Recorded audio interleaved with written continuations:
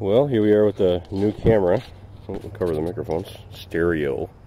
And we're in HD.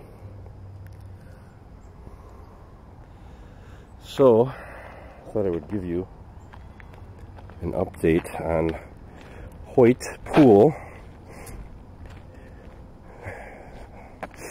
The $8 million project. It's sat here for, I think 10 years at least. Empty. I used to swim here all the time. And uh, it was built in the early 1900s. And we found, uh, or they found an investor that um, he said that he would, if they raised four million, he would match it. And they did. They raised four million, and well, three, three million, maybe 3.5 or something like that. But so the pool money is all obtained, and uh, now they're just trying. They need like, I think it was eight hundred thousand dollars or something for all of the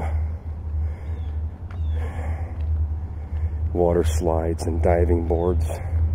And we're right on the Canadian Pacific Railroad tracks. Let's check this out here. Sounds like a big freight train coming.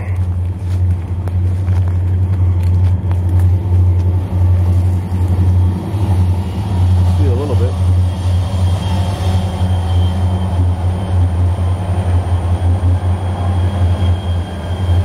Pretty big. Five engines.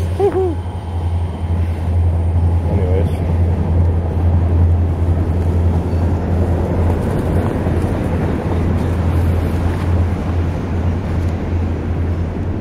So, I guess they're a little bit short on uh, water slide money.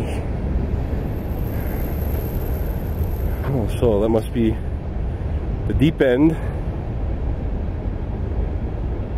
Hmm.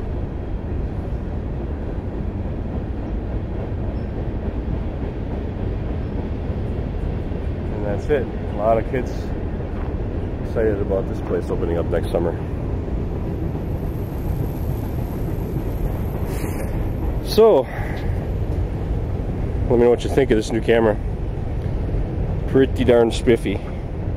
It's got a slow motion. It can shoot a thousand frames per second. Anyways, I'll put this on YouTube tonight. Let me know if you like it.